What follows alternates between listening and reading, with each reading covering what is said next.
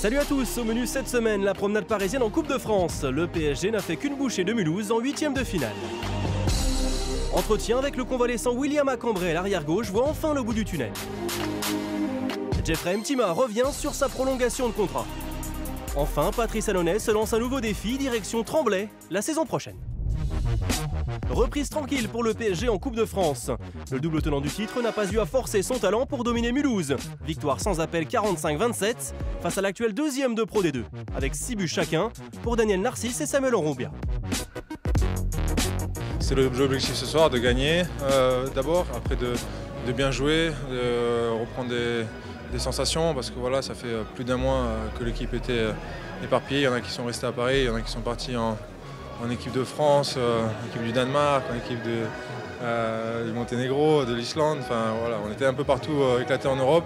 Et euh, on n'a pas joué depuis longtemps ensemble, on n'a eu que 3-4 jours d'entraînement. Ce retour à la compétition était aussi l'occasion de mettre à l'honneur Henrik Molgaard. Le Danois, désigné meilleur défenseur de l'Euro, s'est vu remettre un trophée des mains de Bruno Martini.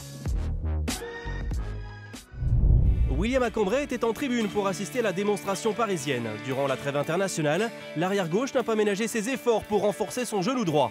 À la mi-janvier, près de 9 mois après sa grave blessure avec les Bleus, l'ancien Montpellier dressait un bilan encourageant. Chaque mois, chaque jour, euh, il gagne toujours euh, au fur et à mesure euh, des petites choses en plus. Donc ça me rapproche de plus en plus du retour sur les terrains et de la compétition. Donc je suis, satisfait un peu plus chaque jour.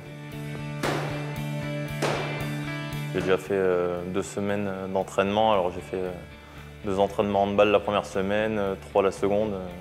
Ça monte crescendo, j'en fais de plus en plus. au début j'avais un peu de mal, des petites douleurs un peu d'appréhension. Donc euh, j'essaie de gommer ça au fur et à mesure pour euh, retrouver un rythme de, haut niveau. Il y a la peur parce qu'il euh, y a la peur des contacts. Le handball c'est un sport avec beaucoup d'engagement, beaucoup de, duels où il faut pousser sur les jambes et aussi de l'impact entre les joueurs. Donc sur, mes trois premiers entraînements, j'étais surtout en défense, je faisais pas trop de, de 1 contre 1, de choses comme ça. J'ai commencé à en faire depuis deux séances maintenant. Euh, je ne m'engage pas encore à fond parce qu'évidemment il y, a cette appréhension qui est là, mais en tout cas chaque jour j'essaie de, m'engager un peu plus.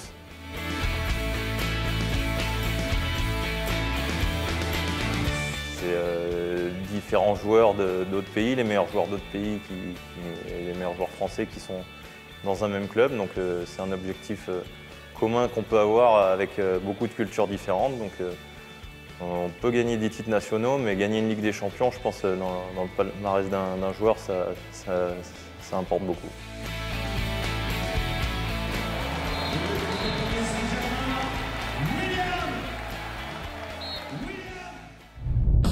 Dans la capitale, les vagues de prolongation se succèdent cette saison. Après Lucas Ballot, Daniel Narcisse et Henrik Molgard, c'est au tour d'un jeune en pleine progression de parachever un nouveau contrat. Jeffrey Mtima, le pur produit parisien, s'est engagé pour deux saisons supplémentaires, soit jusqu'en 2018. Je suis un des rescapés euh, du Paris Handball. Et pour moi, c'est un peu une fierté ben, d'avoir re-signé au PSG parce qu'ils ont un beau projet pour les jeunes et ça m'apporte beaucoup, même au niveau de l'expérience surtout de côtoyer des grands joueurs.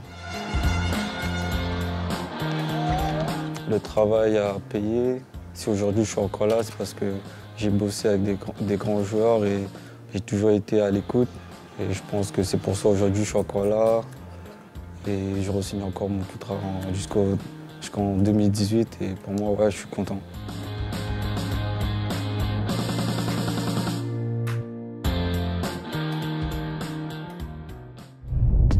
L'aventure parisienne touche bientôt à sa fin pour Patrice Annonay. Après 11 années de bons et loyaux services, l'ancien Angevin s'est laissé séduire par le projet tremblaisien. À 36 ans, le Martiniquais a signé un contrat de deux saisons avec l'actuel 13e de LNH.